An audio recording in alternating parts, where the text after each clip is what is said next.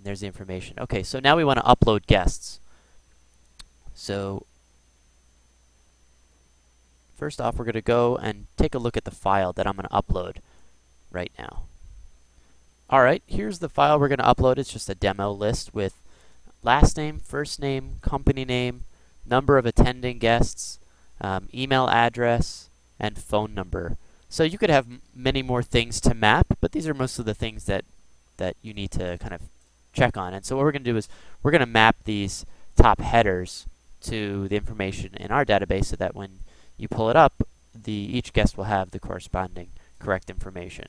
So when you want to save this, this is something to note.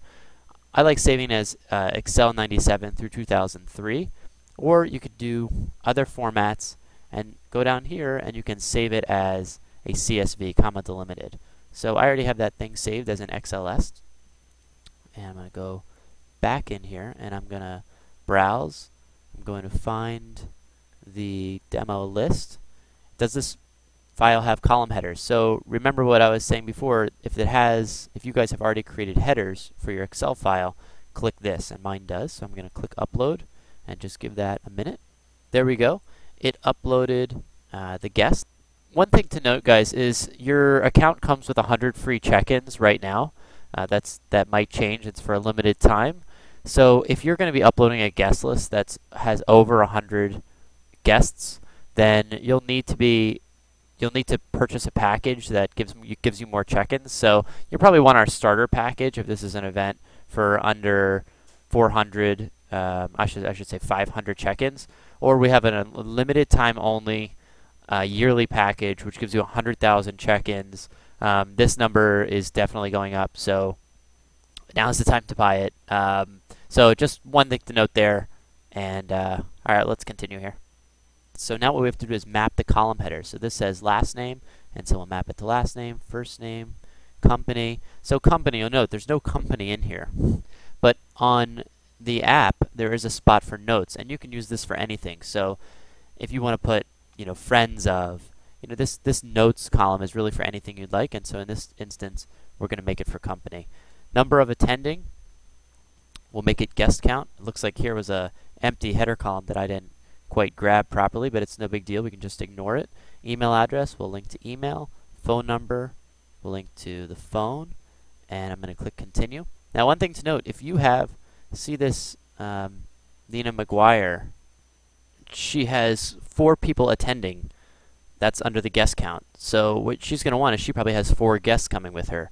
So once you map this and you click continue, it's going to create four entries for Nina McGuire, which is good because Nina will come in first and she might not be with her guests.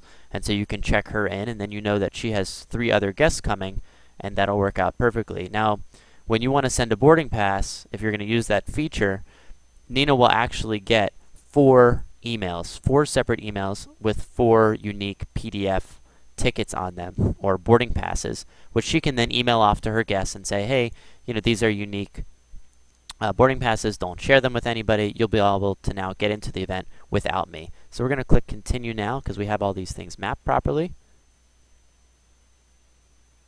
And they're in there. So now we're going to view guests. Let that load. There it is. So these are all the guests. And you notice all the information is in there. Everybody's unchecked. So you'll see it says total checked in guest 0. Um, Total unchecked guess is 80. And you're all set to go. Now, if you want, there's a cool feature that notifies you as the event planner when a certain person comes in.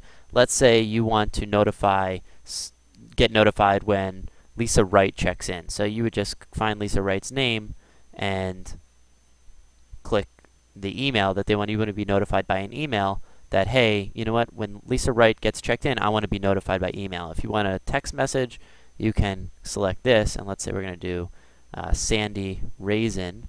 So I want to be notified by text when Sandy Raisin checks in, and there we go.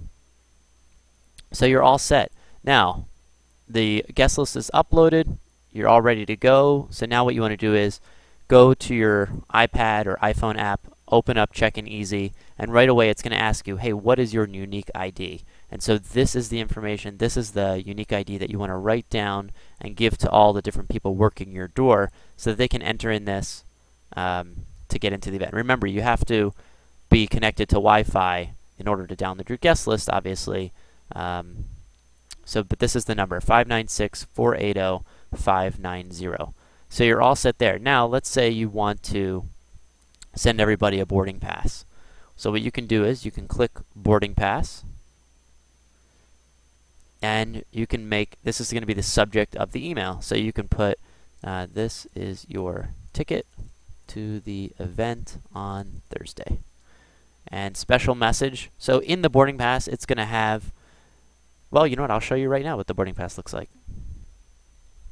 Here we go. Here's the boarding pass.